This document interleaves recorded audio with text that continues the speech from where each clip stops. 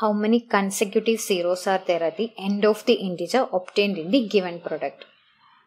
Number of zeros at the end of the product depends on number of tens. Here 2 and 5 are prime numbers. 2 into 5 give you 10. So number of tens depends on number of 2's and number of 5's in it. And if you look at this given expression, base numbers are 1, 2, 3 up to 25 and powers are 2, 4, 6 up to 50. Now it is clearly visible that number of 2's is greater than number of 5. When number of 2's is greater than number of 5, number of zeros depends upon the number of 5's because number of 5's are lesser in number.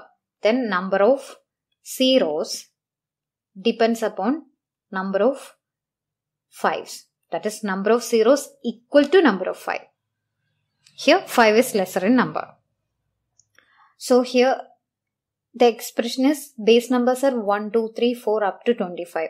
So multiples of 5 in base numbers are 5, 10, 15, 20 and 25. This is up to 25.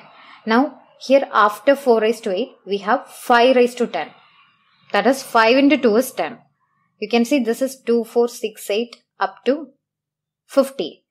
And when you have 5, power is 10. 5 into 2 is 10. Same way 10 into 2 is 20. We have 10 raised to 20 here and 15 raised to 30 here. 15 into 2 is 30, 20 into 2 is 40 and 25 into 2 is 50. So these are multiples of 5s. And in 5 raised to 10, there are 10 number of 5. And 10 raised to 20 means 2 into 5 is 10. So there are 20 number of 5s. 3 into 5 is 15. There are 30 number of 5s in 15 raised to 30. And here 5 into 4 is 20. And there are 40 number of 5s in 20 raised to 40. But here 5 square raised to 50 is 25 raised to 50. So there are 50 into 2, 100 5s in 25 raised to 50.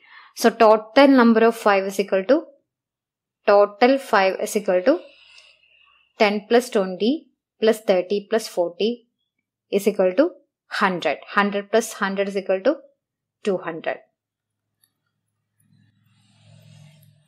Option D is your answer.